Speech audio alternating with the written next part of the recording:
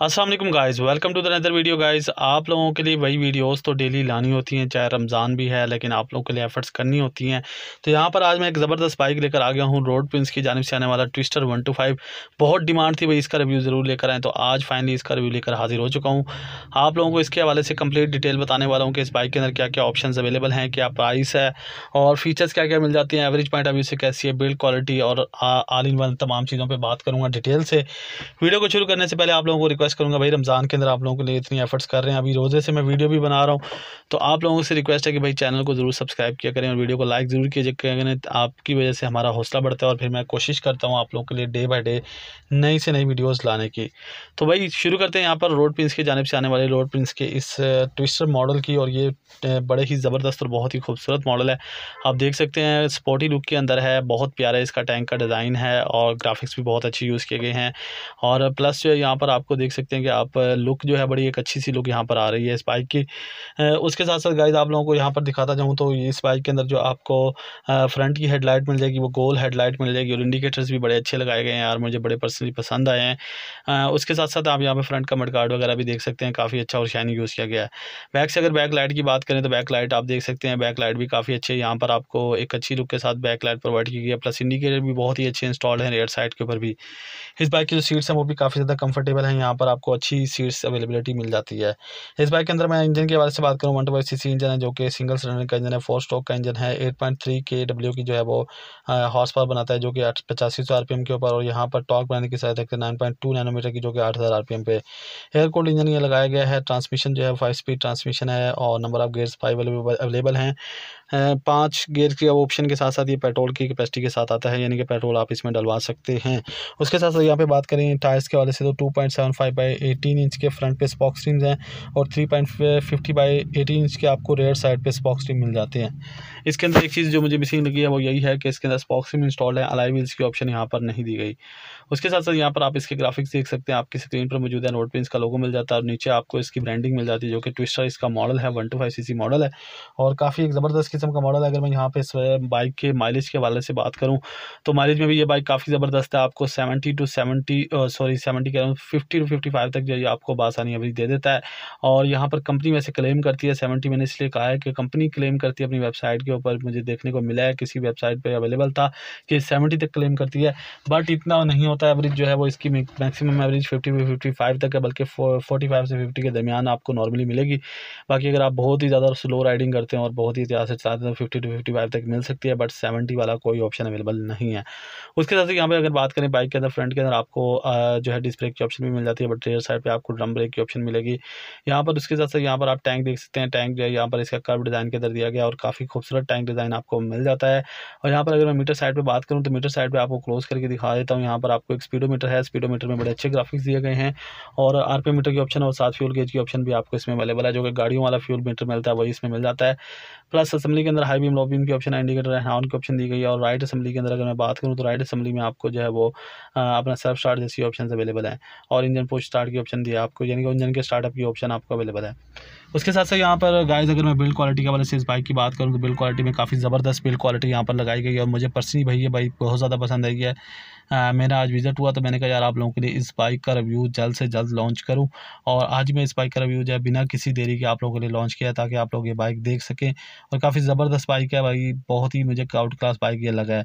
उसके साथ साथ बिल्ड क्वालिटी के अलावा पेंट क्वालिटी की बात करें तो आप देख सकते हैं काफ़ी शाइनी पेंट है काफ़ी आई कैचिंग पेंट और आई प्लेजेंट भी मुझे लग रहा है।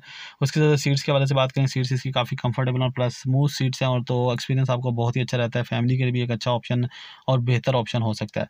नेक्स्ट बात करें कि रीसेल पॉइंट ऑफ़ व्यू से बाइक कैसी है और मार्केट में इसकी वर्थ कैसी है? तो भाई आप लोगों को बता दें रोड प्रिंस भी अपनी मार्केट काफ़ी ज़्यादा एक्सपेंड कर चुका है और आजकल रोड प्रिंस की बाइक भी काफ़ी ज़्यादा सेल हो रही है मार्केट में।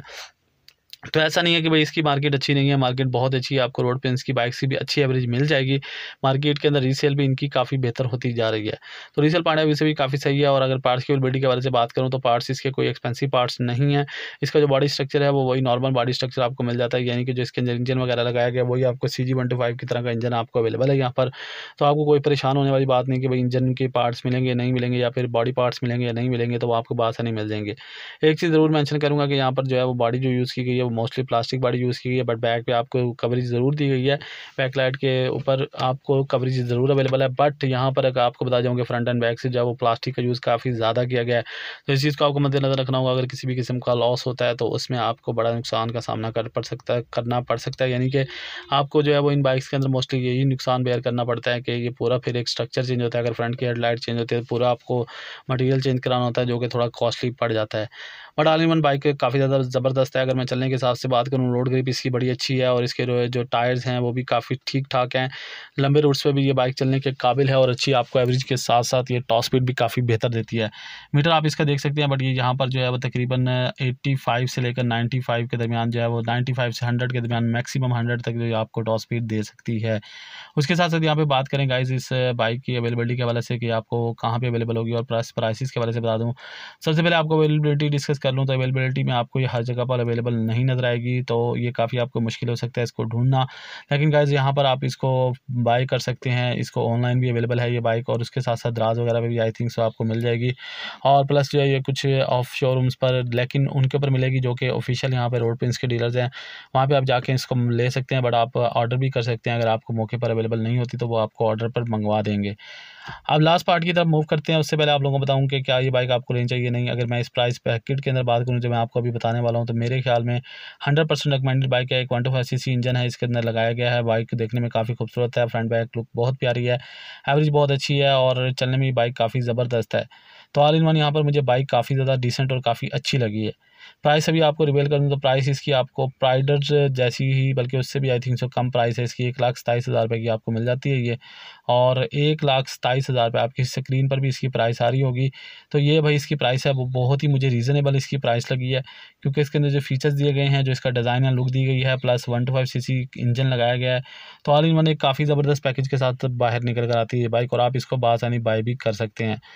अब फाइनल यहाँ पर अगर मैं कंक्लूजन दूँ कि ये बाइक किन किन लोगों को परचेज़ करनी चाहिए और किन लोगों को ये परचेज़ नहीं करनी चाहिए या फिर कहाँ पे इशूज़ आपको आ सकते हैं तो थोड़ा बहुत आपको पार्ट्स में इशू आ सकते हैं, क्योंकि मैंने बताया कि पार्ट प्लास्टिक बॉडी है तो थोड़े बहुत इशूज़ आपको ज़रूर फेस करने पड़ सकते हैं।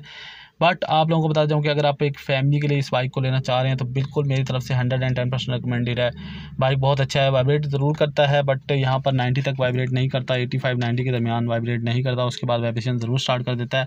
बट यहाँ पर चलने में काफ़ी अच्छा है स्मूथ रनिंग है बाइक देखने में काफ़ी ज़्यादा खूबसूरत है डिज़ाइन वाइज भी अच्छा है फैमिली वाइज भी रिकमेंडेड है मेरी तरफ़ से। प्लस स्टूडेंट्स के लिए भी रिकमेंडेड है बहुत लोग जो ऑफ़िस वगैरह में यूज़ करते हैं, उनके लिए भी मेरी तरफ़ से रिकमेंडेड बाइक है।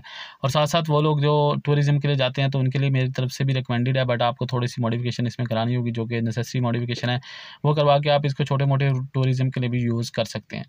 तो आज अगर मैं फाइनल करके लूँ तो इस बाइक के रिलेटेड तो मेरे ख्याल में एक अच्छा ऑप्शन है और प्राइस इस प्राइस ब्रैकेट के अंदर जब आपके पास Honda C G one two five की प्राइस भी काफ़ी ज़्यादा है, डेढ़ लाख क्रॉस कर चुकी है तो उसके अंदर ये एक अच्छा ऑप्शन मिल जाता है अच्छे फीचर्स के साथ और अच्छे डिज़ाइन के साथ। और मेरे ख्याल में ये आप लोगों को ज़रूर परचेज़ करना चाहिए, आपको अच्छा एक्सपीरियंस देने वाला है। जो लोग इस बाइक को यूज़ कर रहे हैं, वो नीचे कमेंट बॉक्स में जाकर अपना कीमती राय दे सकते हैं, ताकि दूसरे लोगों को इसका आपकी कीमती राय से फ़ायदा हो। और फाइनल रिकमेंडेशन मेरी फिर यही होगी कि आप लोगों के लिए सजेस्टेड बाइक है, क्योंकि इसकी प्राइस मुझे काफ़ी रीज़नेबल लगी है। इस प्राइस ब्रैकेट के अंदर फीचर्स जो है और डिज़ाइन जो है, वो काफ़ी अच्छा है। और आज की वीडियो आपको अच्छी लगी अच्छी लगी लाइक सब्सक्राइब शेयर ज़रूर कीजिएगा। इंशाल्लाह अपने रखिएगा, ख्याल अगली वीडियो में हाजिर होगा अल्लाह हाफिज़।